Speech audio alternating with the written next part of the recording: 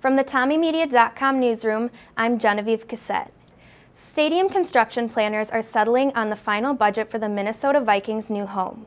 The Minnesota Sports Facilities Authority, the team, and the main contractor are set to lock in the budget Friday. They have been trying to figure out how to stretch the dollars and may have to leave some amenities on the cutting room floor. A ceremonial groundbreaking has been set for December 3rd, but major construction won't begin until after the football season. Authorities say two of five children who were trapped in a car submerged in an icy suburban Minneapolis pond have died. The State Patrol and a family attorney reported that a five-year-old and a seven-year-old died Thursday night. The driver, the mother of three of the children, made it out of the car unharmed after it sank in the St. Louis Park Pond early Thursday. Rules against making cell phone calls during airline flights are outdated, and it's time to change them, federal regulators said Thursday.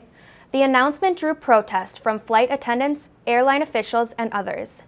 Tom Wheeler, the new chairman of the Federal Communications Commission, said in a statement that the commission was proposing greater in-flight access to mobile broadband. The proposal will be considered at the commission's December 12th meeting. 50 years have gone by, but many St. Thomas community members still remember the day John F. Kennedy, the 35th President of the United States, was assassinated. Check Tommie Media later today to read their recollections of the tragic day.